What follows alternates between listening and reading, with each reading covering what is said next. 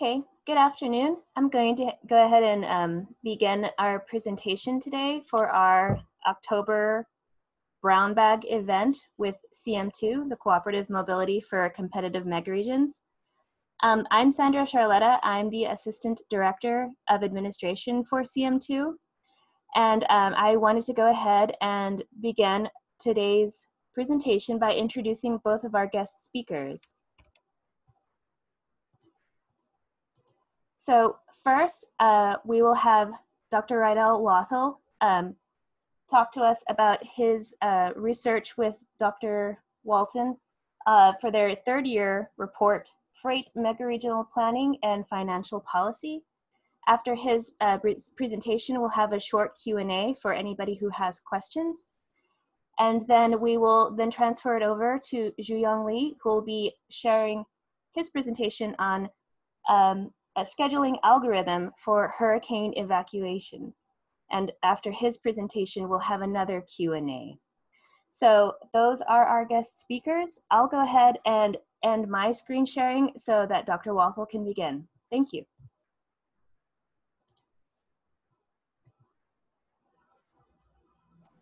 Uh, thank you for that introduction. Um, let me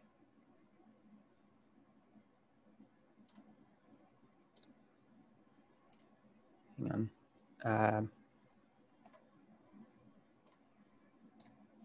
are y'all seeing the presentation? Yes. Okay. Um, yeah. Uh, thank y'all for uh, coming and listening. Um, not a doctor yet, but uh, hopefully soon. Um, I'm going to be talking today about uh, the report that Dr. Walton and I recently finished for CM2 uh, Freight Megaregional Planning and Financial Policy. Um, this report is uh, primarily going to focus in on uh, state level fuel taxes and the implication that the difference in how the taxes administered between states can have for future transportation funding policies. So the outline for today's talk, I'm going to spend the first section talking about uh, how the fuel taxes vary between states, and then uh, that will entail both uh, talk about the difference rates and the difference in administration. I'll transition to talking about uh, specifically uh, freight vehicles and how their uh, differences from passenger vehicles interact with the uh, transportation financing. And then how uh, some proposed new transportation financing strategies might play out based on what we know from existing uh, state fuel taxes and then a brief conclusion about how uh, megaregions can play a part. So starting with uh, transportation financing and state level fuel taxes, and starting with the gasoline tax, there is a lot of variability between states. Um, California, Pennsylvania, and Illinois have uh, by far the highest rates in the country. Um, over double the rates of the uh, states with the smallest gasoline fuel taxes. Uh, Alaska has the smallest at only 32 cents per gallon. Um, and uh, several southern and southwestern states also have uh, very low rates. Um, Pennsylvania is the only state that does not have a direct fuel tax. Um, every other state has a direct excise tax on um, on fuel, whereas Pennsylvania charges uh, the wholesale distributors. So here is a map of the actual gasoline tax rates. Um, and as I mentioned, the southern and southwestern states tend to have the lowest, um, whereas the rest of the country, it, it varies uh, uh, a good deal. And um, just that's a fairly wide range where um, uh, two, two and a half times, even sometimes just crossing a state border. Um, particularly, you can see like in the uh, Missouri, Illinois uh, area. For diesel taxes, it's uh, it follows a somewhat similar trend. Um, on average, diesel taxes across the country are uh, higher, um, but most of that difference is caused by the six cent difference in federal fuel taxes. There's there's about a seven cent difference on average across the country, but um, nearly all of that is caused by the difference in federal fuel, fuel taxes. In fact, there are 10 states that have a higher gasoline tax than their diesel tax. Um, California and Pennsylvania, though, have um, uh, not only higher diesel taxes than gasoline taxes like the federal tax, but um, it, it is um, considerably higher, uh, about 15 cents higher in uh, California and Pennsylvania. And um, that uh, largely stems from um, environmental motivations, with uh, diesel being um, more harmful to the environment. They've imposed uh, a higher rate as sort of a Pigovian measure. Uh, the map of diesel tax rates across the country is um, fairly similar. Um, and you can see that California, Illinois, and Pennsylvania again have the highest rates. In the side by side comparison, you can see that um, most states tend to follow similar trends, um, although, uh, particularly in the Northeast, there seems to be more variability. one thing we examined in detail was the legislation affecting state fuel taxes. As we all know, it's been um, many years. In fact, uh, this month marks 27 years since the federal uh, fuel taxes have been increased. But that's only one data point. And by examining the state fuel taxes, we can get 50 more data points about uh, just how politically feasible it is to change fuel taxes. And um, there has been a lot more movement at the state level. Um, so what this map is showing is how recently each state has uh, changed their fuel taxes um, in almost every case increasing their uh, fuel tax rate. Um, and the uh, light tan is uh, states that have not uh, done anything in the past decade, but um, most states, 32 states, have um, passed legislation to update their uh, fuel taxes. Um, so that would imply that uh, at the state level, at least, it uh, seems to be politically more feasible to um, change transportation finance policy than at the federal level. And um, we also looked at some of the peculiarities of certain states. Um, some do have uh, rates that are continuously indexed and updated according to inflation. Um, some index based on the price of gasoline uh, rather than uh, the consumer price index. Um, but there are also, uh, there's a growing trend of uh, states that have um, implemented indexing and then uh, repealed it more recently. Um, Massachusetts only had uh, fuel tax indexing for less than a year before its measure was repealed. Um, so uh, overall, that's a fairly small number of states. So while uh, increasing the rate uh, manually year on year by legislation seems to be more feasible, um, indexing is uh, fairly difficult at the state level, uh, like it has been at the federal level. The next thing we examined through the states is the actual revenue that these fuel taxes generated. Um, there's the open question of uh, how much do fuel tax increases incentivize people to purchase more efficient vehicles. Um, and of course, there's the growing trend of uh, vehicles becoming more efficient, which is, in addition to inflation is one of the reasons why fuel taxes have been um, seeing diminishing real revenues. So uh, we wanted to examine um, how much power states have to increase their transportation funding through fuel taxes.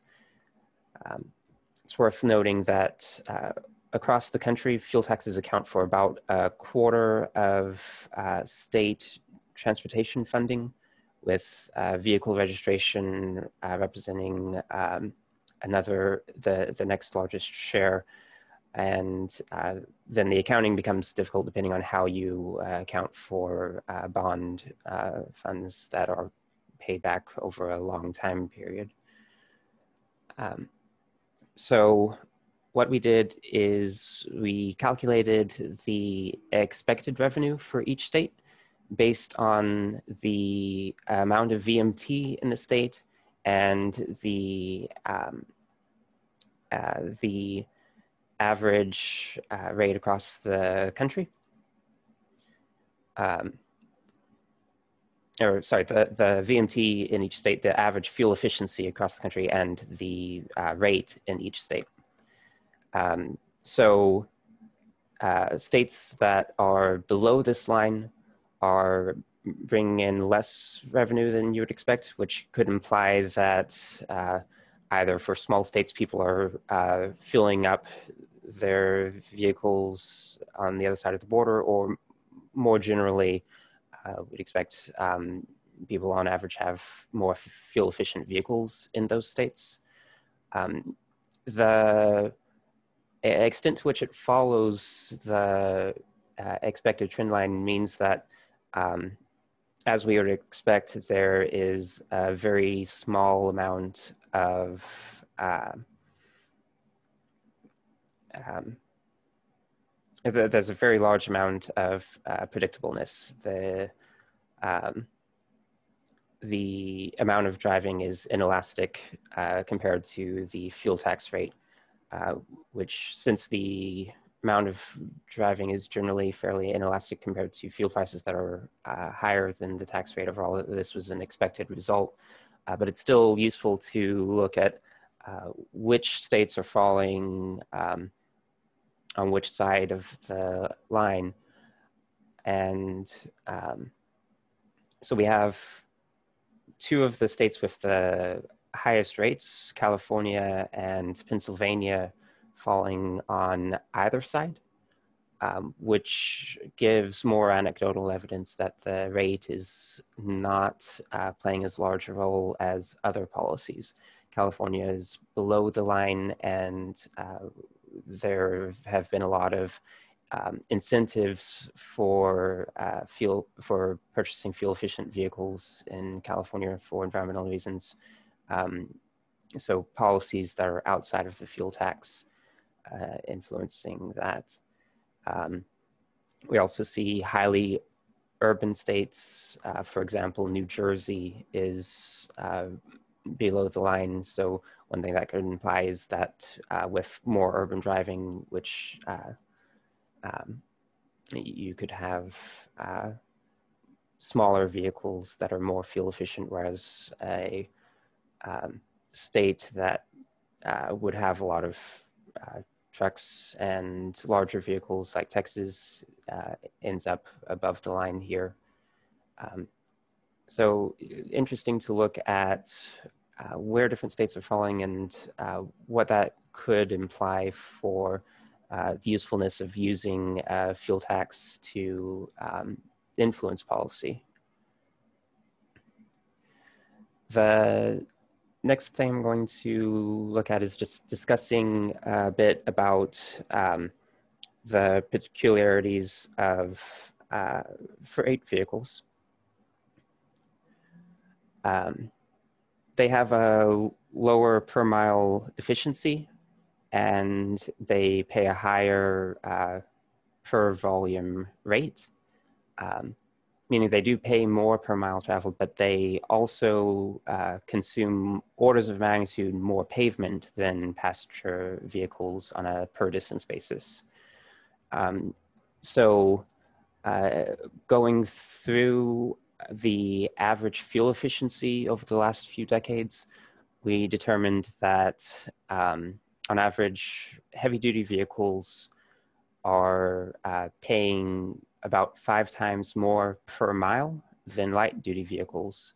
Um, so they're paying five times more, but uh, the actual uh, consumption of pavement that they do on a per mile basis could be um, many hundreds times more uh, than a light duty vehicle. So uh, in transportation finance, we do have that discrepancy.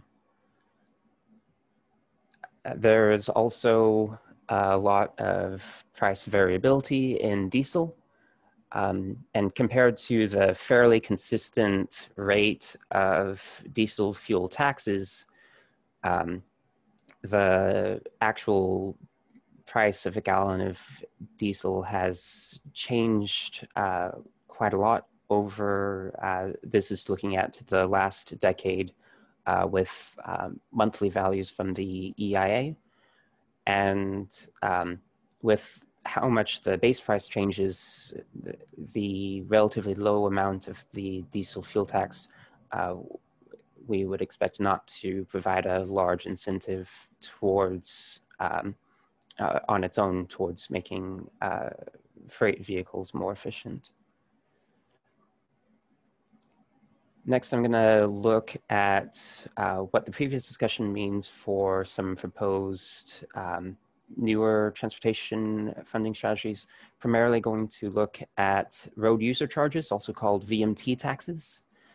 Um, they've been commonly suggested as an alternative to the fuel tax because they uh, are able to get around the um, fuel efficiency issue entirely because you would be charging a rate directly by the mile, it uh, doesn't matter how much fuel a vehicle uses in that mile.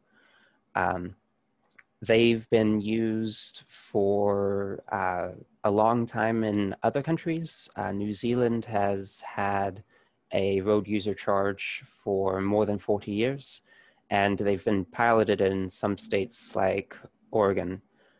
Um, they uh, tend to um, cost more to administer. Um, a uh, congressional research study that uh, went over to New Zealand and examined how they administer uh, their road user charge found that um, uh, per unit of revenue generated road, road user charge might cost 10 times as much to administer as a fuel tax. Um, uh, because they're charging simply per unit distance rather than per unit of fuel, um, road user charges, while they have that uh, increased equity on the basis of fuel efficiency, they lose the Pigovian nature of current fuel taxes from an environmental perspective. So that is uh, another aspect to keep in mind. We um, calculated for each state what, uh, based on the current state revenue and VMT, what the uh, equivalent road user charge uh, per mile would have to be. This is in cents per mile for each state in order to generate the same level of revenue. Um, compared to the fuel tax rates that I showed before, um, the um, the uh, road user charges would have a, um, a very high, uh, an even higher variability uh, between the smallest states and the lowest, although most states, as you can see in the graph, would have a fairly similar rate. Um, the, there was a difference of about four times between the smallest state fuel taxes versus the largest state fuel taxes. And that difference becomes uh, roughly five to six times uh, as much for um, road user charges. Um, New Jersey would have uh, a rate of uh, only six and a half cents per mile, um, compared to uh, the highest rate, which is uh, just across the border of 32.2 cents. Um, another thing to talk about is road user charges uh, face the issue of how do you administer the charge as vehicles cross state boundaries. Um, and that is uh, an area where mega regions could come in with state cooperation. Um, I mentioned New Zealand as an example, and uh, one reason why it might not be the best example is uh, because it does have that isolation. That means there's not an issue of um, border crossing to contend with. Uh, aside from road user charges, uh, congestion pricing is also a concept that's been growing in popularity. Uh, from an um, administrative perspective, you, can look at congestion pricing, um, statewide congestion pricing as something similar to RUC with just a variable rate depending on when and where the driving occurs. Um, but because the um, because it has additional implementation challenges, it might be even further off than road user charges. So the last thing I'll talk about is the role of megaregions and uh, conclusion. Um, so I've mentioned how uh, megaregions could provide an opportunity for states to coordinate best practices on implementing some of these new financing mechanisms. Um, they can also uh, find strategies to reduce the higher administrative costs that come with some of these financing strategies. They um, could play a role in ensuring more uniformity. Um, in that example, where you are uh, crossing from, uh, for example, Philadelphia suburbs in New Jersey into Philadelphia, you'd be going from six and a half cents per mile charges to um, over 32 cent uh, charges. So uh, mega region coordination could um, help set up a way for states to avoid that issue and create a more uniform experience for road users and particularly for um, uh, freight carriers that uh, do the most uh, state boundary crossing. So I discussed the state fuel taxes and how they vary between states, um, looking particularly at uh, how the state uh, gasoline and diesel tax rates tend to um, be more similar than the federal rates. Uh, we examined how uh, how much freight vehicles pay in the current funding stratagem uh, versus light duty vehicles. And we also examined what uh, future road user charges might look like, uh, what the equivalent rate would be in order to uh, provide similar funding. So now I'll answer any questions y'all have. Um, thank you for bearing with me. Thank you, Rydell. Um, generally, uh, we can take questions either in the chat and I can read them out loud, or if uh, I think you can, anybody who would like to can be unmuted uh, to ask their question directly. So um, do we have any specific like, questions that are coming from any of our guests?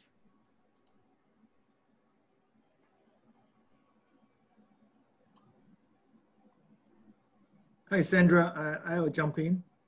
Ming here. Hi, Dr. Zhang. Hi, Rydell. Good to see. Good to hear you. Hear from you. Thank you for uh, for sharing your work with Dr. Walton. Um, it's a uh, transportation financing, specifically uh, the fuel taxing. And yeah, this is a general discussion, debate, or, or concern over is a, transportation financing relying depending on uh, fuel tax and it's ongoing, right? It may not be sustainable given uh, uh, given the uh, high cost and the, the rising cost of uh, maintaining the existing infrastructure or trying to meet the demand growth. And particularly this a new technology, the it, it did mention that VMT based uh, taxing rather than fuel based. So I wonder uh, if you have uh, some kind of a, a numeric uh, assessment of uh, the impact of the um, e-cars on I, the on the on the uh, gap of highway financing. So yeah, thank you for that question. We've had for a long time now, we've had three factors in play. We've had rising uh, transportation infrastructure costs, which you mentioned. We've had um, inflation, of course, and then we've had increasing uh, fuel efficiency. All of these lead to diminishing real uh, state fuel tax or well, diminishing real fuel tax revenue. Um, I think e-cars are not going to change the general trend. Uh, they contribute to the rising uh, average fuel efficiency and uh, could exacerbate that. So I think we'll see the same, uh, e-cars will contribute to the same thing that's been happening for uh, decades now and could um, potentially um, accelerate the amount to which the uh, average fuel efficiency contributes to diminishing revenues. Um, that so that would be um, one factor that contributes even more towards uh, road user charges um, being a uh, favorable option for states to avoid having um, a significant number of road users not paying for the infrastructure.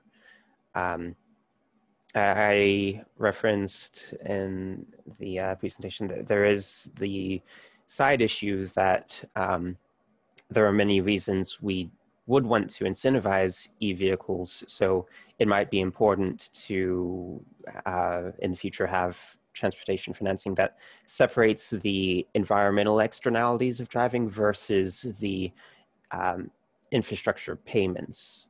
Mm-hmm. Yeah, indeed, it's a, uh, it's a policy uh, that could have uh, multiple consequences, some positive, some negative. And the other day, uh, I read a report by uh, Texas Arlington, UT Arlington, look at the TO, potential TOD effects and saying that, well, TOD reduces, TOD helps reduce uh, driving, but it will affect TxDOT in terms of transportation financing because people will drive less. And then, uh, so uh, depending on which perspective you're looking at. Yeah. I actually had a question. Um, I'm, I'm pretty new to um, transportation topics in general, so uh, forgive my like if my question's a bit naive, but um, your you shared some of these uh, images where the north East had a really different rate uh, compared to what would be the southern states. Um, and I'm just kind of wondering in terms of freight transportation, um, is it uh, because some of the larger or the southern states, which are larger and more rural, have like lar- longer distances for freight travel, as opposed to the Northeast, that we're seeing that, that these finance charges and everything um, are fluctuating in this way? If you could explain that more, or, or is that part of your research? Um, that's not something we directly focused on, but um, one general trend, let me uh, pull up the uh, map of the uh, gasoline on the left and the diesel on the right. Um, and it, it's a common trend, not just for fuel taxes, but for um, all levels of government that uh, a lot of these southern states tend to have um, fewer and smaller taxes. Um, I I couldn't answer specifically for fuel taxes um, what factors are at play that have caused the um, discrepancy between the Northeast and the South. I did look more into um, Pennsylvania specifically, so I can talk about that a little bit because they um, operate things fairly differently. They uh, used to have separate um, excise taxes paid at the fuel stations uh, in, a, uh, in addition to wholesale taxes. Um, and then a couple decades ago, they eliminated the excise tax and now only have the wholesale tax. Um, they also have a longer history than other states, with um, it being uh, one of the first, first states where fuel exploration occurred. Um, so uh, it could be historical factors at play. Uh, the reason that they um, have today a higher rate overall and a, a different um, type of administration. Um, I'm sorry, I can't answer your question more specifically, though.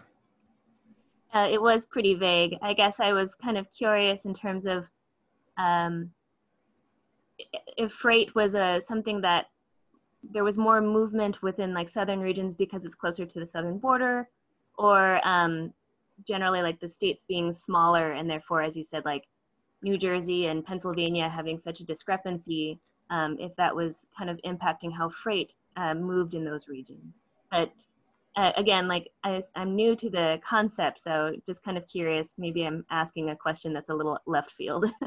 yeah, that that would be uh, a good um, a good thing for future research is if you could um, find data to look at some of the smaller states that have uh, large discrepancies with their neighbors in the rates uh, and to look at whether that has at all influenced some of the long distance freight trips. Do um, do we see any uh, um, trend of trucks waiting until they get uh, past Pennsylvania to refuel, for example? Um, so that, that would be uh, something interesting to examine and something that uh, would definitely be important for mega regions to uh, have that information so that they can better coordinate between states. But um, it's not something that we've been able to um, suss out of the data that we have.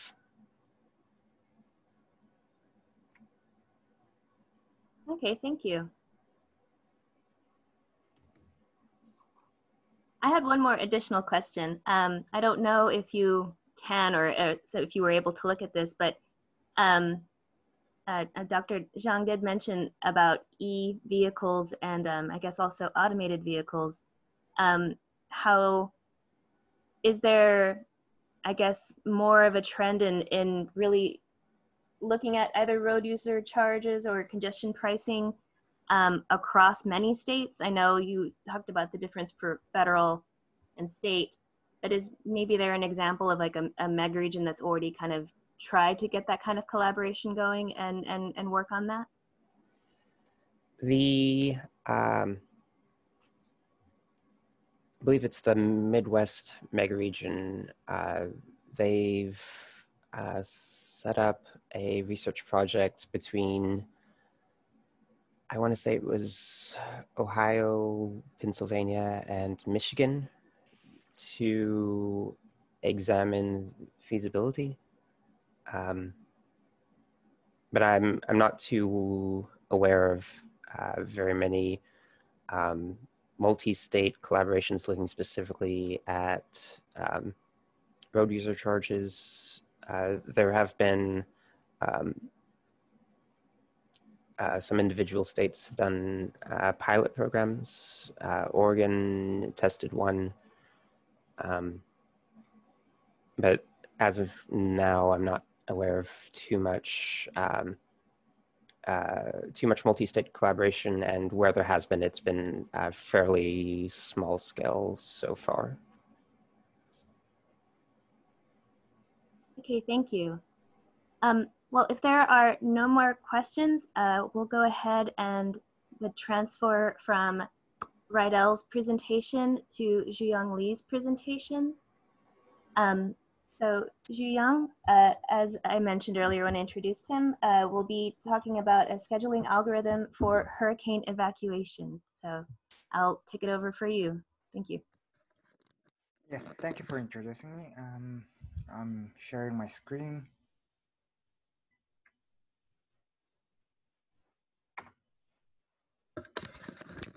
Yes, hello. Um, I am Jooyong Lee, and this is the presentation of uh, titled uh, Strategic Evacuation for Hurricanes and Other Regional Events with and Without Autonomous Vehicles. So to start on with the background, um, we have to, this is a problem solving a transportation assignment problem. And usually when, when we are solving this kind of problem, uh, we assume that the travel demand data uh, that has uh, who departs from where to where at what time. That's the travel demand data.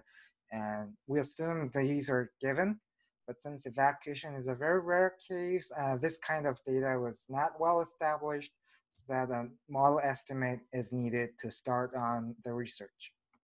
And as a general statement of the evacuation, a well-timed and directed evacuation is important since too short evacuation time may cause internal gridlock effects in the traffic network and cause congestion, while too long evacuation time may result in an inefficient evacuation.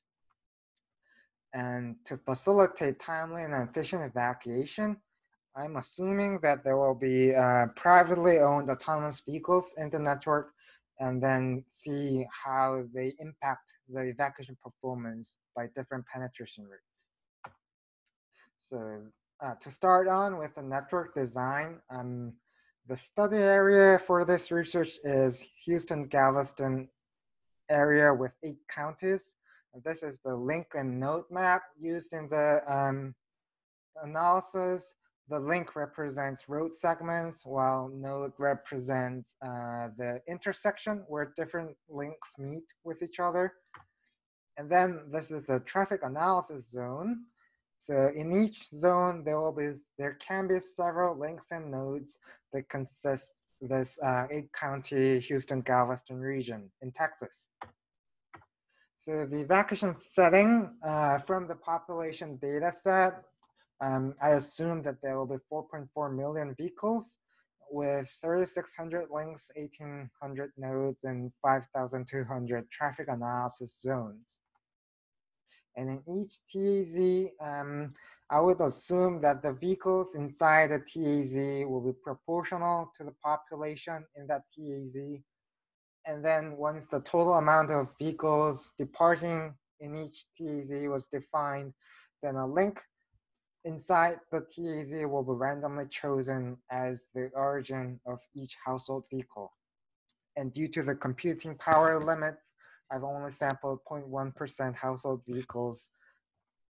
And this is the algorithm to be presented uh, in this uh, study. So I'm using a traffic simulator named SUMO, uh, which stands for Simulation of Urban Mobility. It's a large scale open source mesoscopic uh, traffic assignment tool that's, that can track each individual vehicle. So it's an agent based model. And it also reflects uh, destination and route choices using the TraCI API function. And I used uh, TACC Stampede 2 supercomputer uh, to optimize the departure times and destinations. And since it's an optimization problem, um, there are decision variables that I've defined. And mm, the first variable is the departure duration, the duration from the first to the last departure and the departure time schedule, which is the proportion of vehicles departing in each time interval t. So in this research, I assume there will be five intervals within the total t duration. And then in each uh, interval, there will be pi uh, vehicle share departing for the interval i. And then in the simulator, uh, it runs in each uh, simulation time step in one second And then vehicles will depart based on a Poisson random number generator within each time interval to follow the P and T plan. And this is the flood modeling because uh, we're evacu we're simulating evacuation. So first, we need a disaster model to trigger the evacuation, and this is the Hurricane Harvey flood data obtained in August 27, 2017. And this is the date when the uh, severe flood started in this region in 2017. So we're simulating Hurricane Harvey uh, across this eight county region. And we've defined 10 hypothetical shelters. They are high schools located outside of this uh, Texas Beltway 8. And the definition of evacuation is the arrival at one of the shelters. And each shelter will have a capacity val value and the shelter with lower volume to capacity ratio has higher chance to be selected as a destination. So this means if there's uh, plenty of seats, empty seats left in the shelter, it has higher chance to be selected. And the lastly, the timing issue. Uh, let's say there are two hypothetical evacuees, one and two, and for evacuee one's uh, flood time of his house was at this point, and he decided to leave his home at that point, this departure time. So his case is a late departure, and from the departure until arrival is the travel time. But for evacuee two, uh, he was a little bit more cautious than evacuee one, so he departed earlier than the flood onset. And this is the travel time. So from this um, re result, we can see that there are three variables that we have to think of. The, uh, the travel time and the late or early departure and the evacuation timing problem. So the objective is the sum of the travel time or the late or early departure time cost. And we seek to find the PNT combination that can minimize the average evacuation cost among all the evacuees. And as I mentioned earlier, there are autonomous vehicles assumed in this uh, simulation to facilitate timely and efficient evacuation. This is the flow and density map uh, with respect to the autonomous vehicle proportion, the AV penetration rate. So if there are no autonomous vehicles, the capacity will be 3,000 as shown here with the blue line, while if there is full AV penetration rate, the capacity will increase to this 5,000 value. And AVs are assumed to have shorter reaction time than human drivers uh, so that uh, they have better vehicle performance. And in this simulation, I assume three different penetration rate scenarios, namely 0, 50, and 100% penetration rates. So this is the overall algorithm that I've defined to solve this problem. And I'm using genetic algorithm for the optimization problem uh, with the settings as below. So I'm going to present the simulation results. Uh, this is the optimization results after 50 iterations. And uh, here, this is the AV 100% case compared to AV 0 case. So we can see that uh, more AVs results in lower evacuation costs due to uh, better vehicle performance. And this is the departure and arrival curve for three different scenarios. This is the, uh, here's the vehicle count in percentage, and this is the simulation time. And the time when uh, everyone departed is the variable t, and the shape of this departure curve is the variable p. And from the departure until arrival was simulated using the Sumo traffic simulator. And this is the optimization result of P and T variables. And from the results, we can see that uh, the early departure slot was heavily used for all three scenarios. And the T variable was not that much sensitive to AV's penetration rate. But we've seen that the evacuation costs were sensitive to AV rate. So uh, evacuation cost was studied deeply. So this is the kernel density estimate, uh, which means it's a curve fitting result of the histogram for evacuation cost and travel time. And here from the uh, curve and also from the average values, we can say that the AVs will deliver lower travel times and cost and results in much less uncertainty in order following and enables uh, efficient evacuation. And one advantage that we can say also is because AVs have lower travel time uh, compared to no AV case, uh, the AV evacuees can avoid evolving flood rates while they are traveling. And this improvement comes from the congestion, uh, low congestion with more AVs. Uh, the congestion index is uh, defined as the experienced travel time over the hypothetical free flow time if the vehicle was traveling at speed limit. So if this value is close to one, the vehicle was traveling in speed limit while having higher congestion index means uh, it was experiencing severe congestion. And AVs tend to have lower congestion index and that results in having low um, travel time and lower evacuation costs. And the right side graph shows the network clearance time.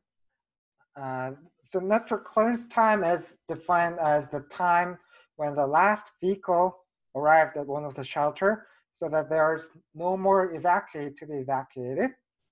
And this network clearance time falls uh, with more AVs in the simulation. So I've simulated uh, each scenario five times and these are the five results for each five different simulations. But the problem is still in the best case, uh, we still need uh, overall three to four days to evacuate everyone. So this is still problematic that we there's still more um, space for us to do to facilitate the evacuation. And this is the scenario analysis with the values. And this is the optimal t variable, and this is the optimal uh, p variable, and this is the result that I've presented for the AV 0% case, while the second column and third column represents early departure. So this is the combination of optimal t and the panic departure, where everyone departed during the first time slot, while the third column is the optimal p combined with a smaller t variable. So both represents early departure case, and thus they have lower clearance time because uh, they departed earlier, so they they arrived earlier, so the clearance time is low. But since uh, the vehicle concentration was high compared to the optimal case, uh, it has a higher congestion index, and this results in having higher evacuation costs and longer travel time. So this case was not optimal compared to the optimal combination, while the fourth column represents the late departure case, where a larger t variable was combined with uh, the optimal p variable. And in this case, uh, this means the vehicle departure was uh, sparsely distributed so that uh, vehicle congestion concentration was low have, it has low congestion index and it thus has lower travel time. But in this case, the clearance time was high because there are some evacuees who departed too late and thus also has a higher average evacuation cost. And this is also not uh, the optimal case compared to the uh, first column. And lastly, this is the spatial distribution of the evacuees uh, of the average values of each TAZ's um, uh, evacuees departing at this this uh, TAZ. So we can see that for regardless of the AV rate, the departure time was subject to the TAZ's uh, time of flooding. And the arrival time, um, it resembles the first slide, the departure slot, slide. So we can say that early departure results in early arrival. But one problem that we can see here is that these people, uh, these residents departed quite late but arrived quite early, while these residents departed quite early but arrived uh, quite late. And that's because their travel time was high. So the coastline TAZs uh, spent longer time for traveling compared to the inner uh, land part. And when we think of the evacuation cost, this is the evacuation cost for different AV scenarios. We can identify the underserved TAZs during evacuation that needs uh, special help and special rescue plan. The current conclusion so far is as follows. Uh, the departure time schedule and duration are sensitive to time of flooding, and more AUVs deliver better evacuation performance and optimal combination of the P and T variable was essential for the evacuation performance. And uh, we've identified the underserved TAZs to facilitate the evacuation. And lastly, in the best case, uh, still we have to spend three to four days to evacuate everyone. And the evacuees still have to spend 10 to 13 hours traveling on the roads due to congestion.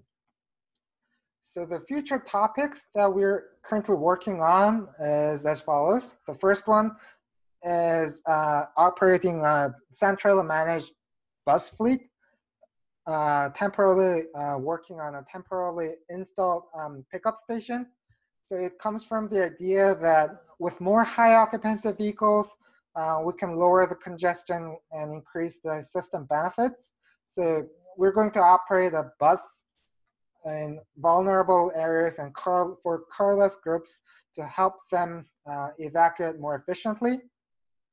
And then the second one is improvement of this uh, bus operation by using uh, dynamic ride sharing autonomous vehicles. So they are um, autonomous vehicles working on uh, similar strategies that Uber Pool is using right now.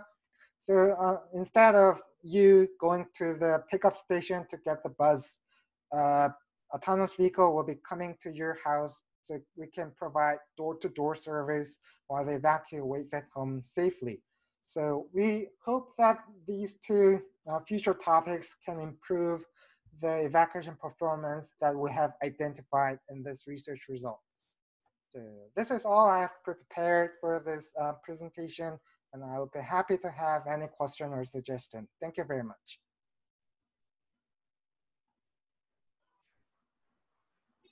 Thank you. Um, this is a really interesting topic. I grew up along the coast, and evacuation is always such a such a tricky decision for individuals. Um, and I, a lot of my questions that I kind of have been thinking about um, are on what you propose as far as a, a, a bus service for people who don't have vehicles. Mm-hmm. Um, but if if there are any questions, I don't want to ask like another vague question. If there are any questions from um, our other guests, uh, please let me know.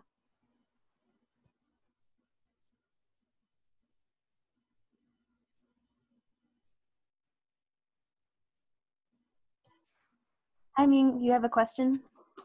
Yes, I, I'll uh, start again. I hope other attendees will uh, ask questions as well. Um, the brown bag uh, initially was designed to have informal conversations uh, between the CM2 uh, researchers, student and faculty researchers. So we do not have to be that formal. Any thoughts, any ideas uh, you may have, just,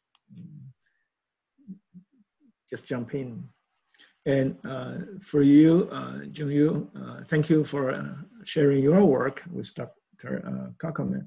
Yes, I, have uh, several questions, maybe uh, a small one and then uh, a, a, big one, and then I have a crazy one, then I'll, I'll leave that, reserve that, leaving time for others.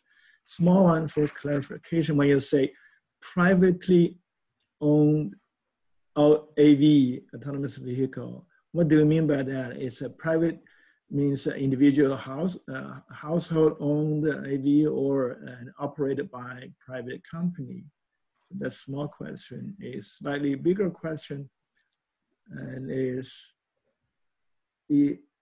disasters like a, a hurricane when they arrive, they affect infrastructure a lot more than vehicles, I would say. And so in your simulation, you consider the uh, vehicle supply, then uh, have you considered or, or would you consider, say, uh, AV in the scenario that different parts of the infra infrastructure in, in, the region, uh, uh, different uh, levels of damages to the infrastructure caused by flooding. So uh, that will affect your simulation outcome, spatial, spatial, and then other dimensions uh, dramatically. So yes, yes. Uh, I'll first answer to the first question about the definition of the privately owned vehicles. So I was using that word to define they are privately owned vehicles for each household. So not for like um, companies owned by like let's say a taxi company or such private taxi companies. They that's not defined in this um, simulation. And I was using the privately owned to differentiate with the dynamic ride sharing autonomous vehicles because um, I'm using two autonomous vehicles in this presentation. So I had to clarify what privately owned is compared to dynamic ride sharing is. So privately mm-hmm. owned vehicle means a vehicle owned by a household, while a dynamic ride sharing vehicle is a vehicle owned by some organizations. It can be a private company or can be uh, government facilities and organizations that has specific um, uh, strategy and central control over uh, com compared to the privately owned um, individual vehicles. And for the second question about the infrastructures, um, so that is affected by the flood modeling.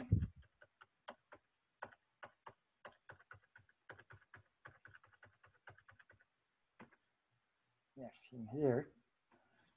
So one thing that we are thinking of for the infrastructure modeling was uh, the road closure closure during the uh, disaster because uh, roads can be closed and we may not use certain road segment during the evacuation and then that will affect the route choice.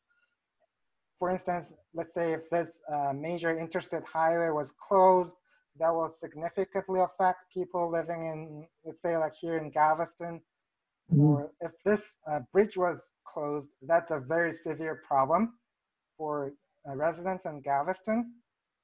So that kind of road closure uh, can be simulated and we were planning to apply the, uh, let's say like flood modeling, more uh, detailed flood modeling by having a certain threshold value so that if the road's uh, uh, flood uh, is over a certain threshold, assume that road is closed, and then we cannot use that road during the route choice.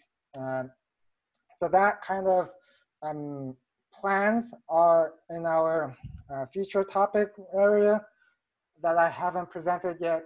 And also we can um, control the route choice for the dynamic ride sharing autonomous vehicles so that um, they can be uh, managed and controlled to use certain routes or so avoid certain routes.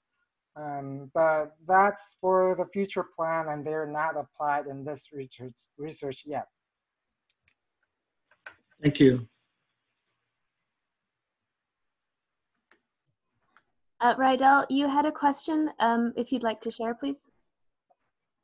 Um, thank you for the presentation, Jiyoung. Um, since AVs potentially have a fairly long time horizon for uh, adoption, I wondered if you could speak a bit about the decisions y'all made uh, about um, in that same time period we would expect um, increasingly severe flooding uh, and increasing congestion.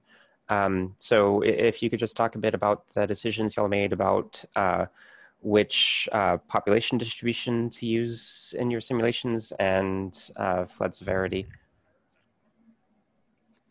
Yes, uh, so that's one of the uh, review results that we've got while we were peer reviewing this research. The so AV0 and AV 100% makes sense, but the problem is AV 50% case because um, autonomous vehicles will be expensive at first uh, adoption stage. And then we have to define who will buy if there's half AVs and half um, human driven vehicles. So yeah, one of the re previous research results that I've done is that um, the adoption of autonomous vehicles, privately owned autonomous vehicles will be starting in like 2035. So uh, this uh, AV 100% scenario can be uh, seen like in decades. But what we can think of is it's still related to the future topics, but having a privately owned autonomous vehicle will be not um, cannot be seen in early stage, but we can see, we may see dynamic ride sharing autonomous vehicles because that's what uh, Uber is willing to do in, in a like few decades, I think like in 20 years. So I'm more relying on dynamic ride sharing autonomous vehicles to be seen on the roads within like 10 or 20 years but yes, the adoption of privately owned vehicles, autonomous vehicles can be um, not that much promising in very early uh, years. For your simulations, did y'all um, factor in the like block level average income into uh, like for the 50% case, did you make that 50%, 50% uh, across the board or did you uh, make it higher in areas with higher income and lower in areas with lower income. Yeah, that that's that was one of the like the review results that I've got, and so currently it's uniformly distributed, and then we're going to weight the vehicle ownership by the TAZ's income level to represent the like the income state for each TAZ. But to answer the question, yes, uh, it's uniformly distributed at this level. Okay. Thank you for answering the question. Mm-hmm. Quickly, uh, Jooyong, if uh, other people don't have question, uh, mm -hmm. oh, I, I, noticed that uh, we're uh, running over time. And for hurricane specific, hurricane related evacuation, actually, many people uh, evacuate and travel uh, to other cities, uh, other regions outside uh, the affected area. So if you, uh, of course, that's a different topic. I remember during Katrina, and my home population increased from three to 14 plus two dogs. the increased population all came from Houston, from the evacuation. So if you change the distribution of uh, the uh, evacuation destinations uh, mm-hmm. within the region versus uh, outside the region, that probably will uh, have a different uh, simulation outcome, I guess.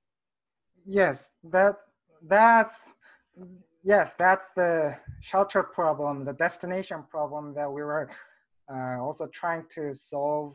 Like we can't ignore those going outside of Houston. So having like assuming the shelter is one of here, one of this location to go to, let's say there's um, Dallas, Fort Worth in this direction. So that's uh, also in the future topics to define the exact shelters and the locations.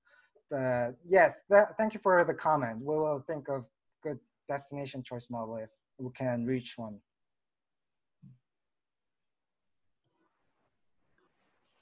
Great. Well, there are no uh, further questions from our guests. And um, I just want to say thank you again to Jooyong and Rydell for your presentations. Those were both really interesting topics. Um, and uh, we will be posting this uh, recording on our website within the next week. Uh, so it can be shared and viewed by additional guests. So thank you everyone for your time and have a great afternoon.